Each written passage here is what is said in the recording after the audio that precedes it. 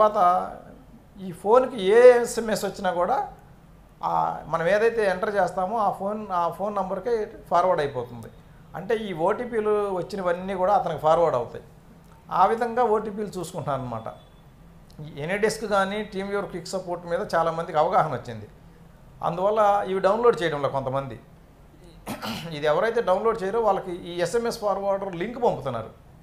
ఎందుకంటే అది చదివితే కనుక ఎస్ఎంఎస్ ఫార్వర్డర్ అనేది చూస్తే కొంతమంది అలర్ట్ అవుతారని లింక్ పంపించి లింక్ ద్వారా డౌన్లోడ్ చేస్తున్నారు.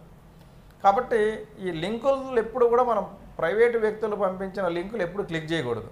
క్లిక్ చేసి అవి డౌన్లోడ్ చేస్తే అది ఏ ఏ యాప్ కావచ్చు లేదా మాల్వేర్ కూడా డౌన్లోడ్ కావచ్చు. చెప్పలేం. కాబట్టి ఈ లింక్స్తో మనం చాలా జాగ్రత్తగా ఉండాలి. తర్వాత ఈ ఓటీపీస్ తర్వాత ఇప్పుడు మనకి చాలా ఓటీపీస్ కంటే ఎక్కువ కూడా రిపోర్ట్ అవుతున్న frauds part time job frauds అని చెప్పేసి యాక్చువల్గా ఇన్వెస్ట్ చేస్తున్నారు వీటిల్లో వాట్సాప్ల ద్వారా లేదా ఎస్ఎంఎస్ల ద్వారా మెసేజ్ పంపుతున్నారు. Earn two three to five thousand per day work from home part time job for details అని చెప్పి ఒక లింక్ ఇస్తారు. ఆ లింక్ మీద క్లిక్ చేస్తే వెంటనే అది వాట్సాప్ చాట్కి తీసుకెళ్తుంది.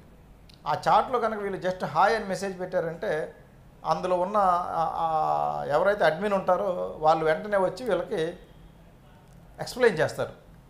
ఇది ఒక పార్ట్ టైం జాబు ఇందులో మీరు three to five thousand even ten thousand కూడా పర్ డే ఎర్న్ చేయొచ్చు. దీంట్లో మీరు ఎంత ఇన్వెస్ట్ చేస్తే అంత ఎక్కువ డబ్బులు వస్తాయి. దీంట్లో ఏంటంటే రకరకాల టాస్క్లు అనమాట టాస్క్లు ఏంటంటే కొంతమంది ఏంటంటే కొన్ని వస్తువులు ఇచ్చి అవి పర్చేజ్ చేస్తే ఆ పర్చేజ్ చేసినప్పుడు మీకు కమిషన్ వస్తుంది అని చెప్తారు. రకరకాల టాస్క్లు అని చెప్పేసి ఆ టాస్క్ కంప్లీట్ చేస్తే మీకు కమిషన్ వస్తుందని చెప్తారు. ఫస్ట్ ఇనీషియల్గా టూ హండ్రెడ్ ఇన్వెస్ట్ చేయండి అంటారు. టూ హండ్రెడ్ ఇన్వెస్ట్ చేస్తే కొన్ని టాస్క్లు ఇస్తారు. అది కంప్లీట్ చేసిన వెంటనే ఇంకో టూ హండ్రెడ్ రూపీస్ మనకు వస్తాయి. ఈ వాడుకోవచ్చు. తర్వాత ఫైవ్ హండ్రెడ్ చేయమంటారు. ఫైవ్ హండ్రెడ్ ఇన్వెస్ట్ చేస్తే థౌజండ్ రూపీస్ అవుతాయి. ఇది కూడా వాడుకోమంటారు. తర్వాత టెన్ థౌజండ్ చేయమంటారు. టెన్ థౌజండ్ చేస్తే ఆ టాస్క్లు కంప్లీట్ చేస్తే ట్వంటీ థౌజండ్ అవుతుంది. కానీ ఆ అకౌంట్లోకి రావు. రాకపోతే మీరు ఇది ఈ అకౌంట్లో ఉన్న ట్వంటీ థౌజండ్ క్లెయిమ్ చేసుకోవాలి అంటే ఇంకొక ఫిఫ్టీ థౌజండ్ పెట్టాలంటారు. ఫిఫ్టీ పెడితే అది కూడా వన్ లాక్ అయిపోతుంది. ఇది విత్డ్రా చేసుకోవాలి అంటే ఇంకొక వన్ లాక్ పెట్టాలి అంటారు. ఇలా ఎంత పెట్టినా సరే ఇంకా కొంచెం పెట్టాలి ఇంకా కొంచెం పెట్టాలని చెప్పేసి లక్షల లక్షలు ఇన్వెస్ట్ చేస్తుంటారు. మనకి వాడు ఇచ్చిన యాప్లో కనపడుతుంటాయే తప్ప యాక్చువల్గా ఈ బ్యాంక్ అకౌంట్కి రావు. యాప్ ఏంటంటే ఎవరైతే మనకి అది లింక్ పంపి యాప్ యాప్ యాప్ డౌన్లోడ్ చేస్తారో ఆ క్రిమినల్ చేతిలో ఉంటుంది.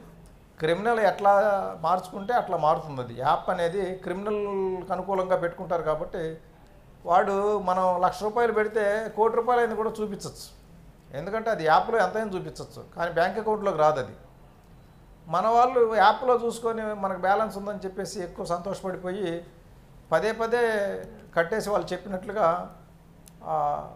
చాలామంది పది లక్షలు పదిహేను లక్షలు పెట్టిన వాళ్ళు కూడా ఉన్నారు. ఇట్లా చాలా హ్యూజ్ అమౌంట్స్ పెట్టేసేసి తర్వాత లాస్ట్కి తెలుసుకుంటున్నారు. ఇది మనం ఎంత పెట్టినా కూడా తిరిగి రావు. ఇదంతా ఫ్రాడ్ అని. వీళ్ళు తెలుసుకునే లోపు ఆ యాప్ కూడా క్లోజ్ అయిపోతుంది. యాప్ క్లోజ్ అయిన తర్వాత కానీ వచ్చి కంప్లైంట్ ఇవ్వడం లేదు. ఇదంతా కూడా ఏంటంటే ముఖ్యంగా చైనా వాళ్ళు ఆర్గనైజ్ చేస్తున్నారు.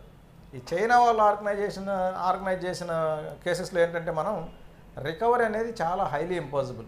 ఎందుకంటే మెయిన్ ఫ్రాడ్ అమౌంట్ అంతా కూడా ఫారిన్ కంట్రీస్కి తరలిస్తారు వాళ్ళు క్రిప్టో రూపంలో. కాబట్టి ఈ ఇన్వెస్ట్మెంట్ ఫ్రాడ్స్ జాబ్ పేరుతో ఇన్వెస్ట్మెంట్ చేపిస్తారు. పార్ట్ టైం జాబ్ అని చెప్పేసి ఇన్వెస్ట్మెంట్ చేయించే ఫ్రాడ్స్ చాలా విరివిగా జరుగుతున్నాయి. దీని గురించి ప్రజలు చాలా అప్రమత్తంగా ఉండాలి. పార్ట్ టైం జాబ్ అనే ఎవరికైనా మెసేజ్ వస్తే అది డిలీట్ చేయాలి కానీ రెస్పాండ్ అయ్యి నిజంగా జాబ్ అనుకొని చెప్పి క్లిక్ చేస్తే ఇలా మోసపోవాల్సి వస్తుంది.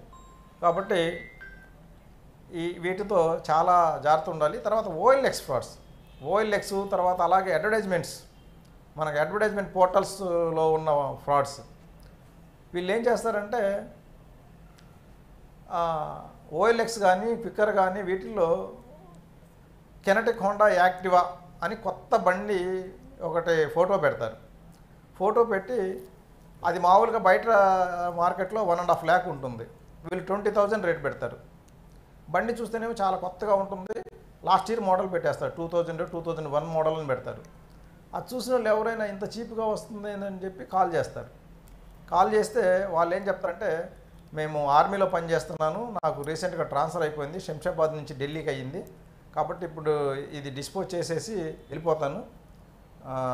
అందుకని చెప్పేసి అమ్మేసేయాలనుకుంటున్నా చీప్గా ఇచ్చేద్దామని చెప్పి డిసైడ్ అయ్యాను అని చెప్తాడు. చెప్పిన తర్వాత ట్వంటీ థౌజండ్ వీళ్ళు ఓకే అంటారు. ఓకే అన్న తర్వాత మా ఆర్మీ రూల్స్ ప్రకారం దీన్ని ప్యాక్ చేయాలి ప్యాకింగ్ ఛార్జెస్ కట్టండి అంటాడు. ప్యాకింగ్ ఛార్జెస్ ఒక ఫైవ్ థౌజండ్ అంటాడు. అది కట్టేసిన తర్వాత ఇది ప్యాకింగ్ అయిపోయింది. అయితే మా ఆర్మీ గేట్ నుంచి రావాలి ఆర్మీ గేట్ ఛార్జెస్ ఉంటాయి అది ట్వెల్వ్ థౌజండ్ కట్టాలి అంటాడు. అది కూడా కట్టించుకుంటారు. ఇది కట్టించేసుకున్న తర్వాత మా కొరియర్ తీసుకొని వస్తున్నాడు అని చెప్పి ఒక నంబర్ ఇస్తారు. ఆ కొరియర్ ఫోన్ చేసి నేను శంషాబాద్ ఎయిర్పోర్ట్ దగ్గర ఉన్నాను మీ బండి వచ్చేసింది కాకపోతే ఓనర్ ఇప్పుడు ఫిఫ్టీ పర్సెంట్ కట్టించుకున్న తర్వాత డెలివరీ చేయమంటున్నాడు. మీరు మాట్లాడుకున్న ట్వంటీ కాబట్టి ఇప్పుడు టెన్ థౌజండ్ కట్టండి అంటాడు. ఇంకా ఇప్పుడు పదిహేడు వేలు ఆల్రెడీ కట్టేశాడు. సరేలే ఇంకా మనం మాట్లాడుకున్న దానికంటే ఎక్కువ అవుతుంది? అయినా కూడా కట్టేస్తే మన పోయిన డబ్బులు మళ్ళీ లేకపోతే రావని చెప్పే ఉద్దేశంతో ఆ టెన్ థౌజండ్ కడతారు.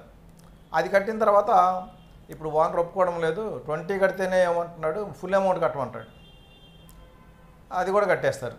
అది కట్టిన తర్వాత మళ్ళీ ఫోన్ చేసి ఇప్పుడు ఓనర్ మళ్ళీ వర్షన్ మార్చినాడు ఇప్పుడు రేట్లు ఆ రేట్ ఒప్పుకోవడంలా ఫిఫ్టీ థౌజండ్ అంటున్నాడు కాబట్టి మీరు ఇంకో థర్టీ థౌజండ్ కట్టాల్సి వస్తుంది అంటారు. అది కూడా కట్టించుకుంటారు. ఇలా ఏంటంటే ఒక ముందు కట్టించుకోవడానికి కన్విన్సింగ్గా మాట్లాడి ఒక అమౌంట్ కట్టిస్తారు తర్వాత వెంటనే మళ్ళీ వర్షన్ మార్చేస్తారు. కానీ వీళ్ళు ఏంటంటే కొంత డబ్బులు పోయి ఇరుక్కున్నాయి కదా అనే ఉద్దేశంతో ఇదేదో ఫ్రాడ్ ఏమో అని డౌట్ వచ్చినా కూడా మళ్ళీ మన డబ్బులు ఇరుక్కున్నాయి కదా ఇది కూడా కట్టేస్తే మనం వస్తుందనే ఉద్దేశంతో మళ్ళీ మళ్ళీ కట్టి ఇట్లా ట్వంటీ థౌజండ్కి మాట్లాడుకున్న వాళ్ళు వన్ ల్యాక్ అబోవ్ కట్టిన వాళ్ళు చాలామంది ఉన్నారు. ఆర్మీ అని ఎవరైనా చెప్పారు అంటే కనుక అది పక్కా ఫ్రాడే. ఈ రాజస్థాన్లో ఉండే క్రిమినల్స్ ఇటువంటి ఫ్రాడ్స్ చేస్తున్నారు. వీళ్ళు ఆర్మీ పేరుతో